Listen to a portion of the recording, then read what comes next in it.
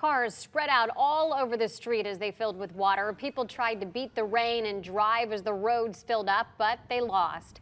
Water levels quickly got dangerously high, forcing some people to abandon their cars. Now, Wink News anchor Annette Montgomery joins us live in Cape Coral. Annette, did the dive team have to rescue people last night? Amanda, they did. The fire department told me they received over a dozen calls from drivers who either drove right into a retention pond or others who saw it happen. Now, they did tell me, luckily, there were no injuries, but their dive team did have to perform several rescue missions yesterday as people either got stuck in flood waters or ditched their cars altogether. One car, two car, gold car, blue car.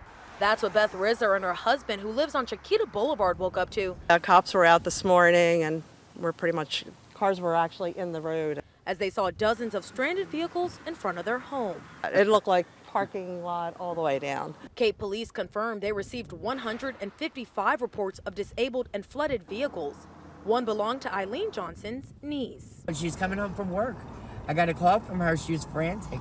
She turned out here and everything just cut cut off and she couldn't move.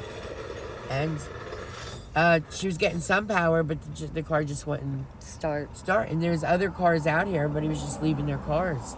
The city's fire department told me pretty much everywhere south of Pine Island Road saw a lot of flooding. In some areas, it was so bad Drivers couldn't tell where the roadway ended and drove straight into retention ponds. The firefighters were immediately able to don their dive gear and get into the ponds. While they were there, um, even though they tried to get the driver's attention, another car drove into the same retention pond. And so the firefighters immediately went back into the water to help that driver out safely.